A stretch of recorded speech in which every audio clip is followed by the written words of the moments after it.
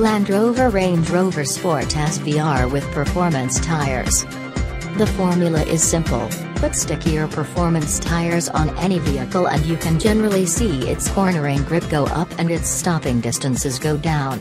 Such was the case with this Range Rover Sport SVR, which we put through our testing regimen on account of the Continental Conti Sport Contact 5 SUV tires wrapped around its seductively styled 22-inch wheels, altogether a $3,000 option. That fitment contrasts with the standard 21-inch Michelin Latitude Sport M Plus S all seasons fitted to the last SVR we tested, a 2015 model packing the same ludicrously torquey supercharged V8.